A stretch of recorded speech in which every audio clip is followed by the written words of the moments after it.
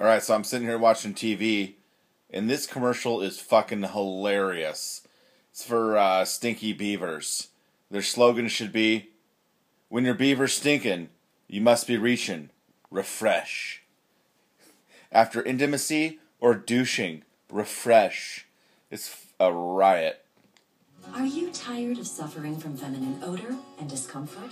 Then stop by. I know I am. Only deal with the symptoms. Instead, try RepHresh. It's clinically shown to eliminate a cause, unbalanced feminine pH. So use RepHresh when unbalanced pH can occur after your period, RepHresh. after intimacy, RepHresh. after douching. RepHresh. Stop feminine odor and discomfort, and finally take control of your feminine health. RepHresh. Yeah, refresh that beaver. Talk to you.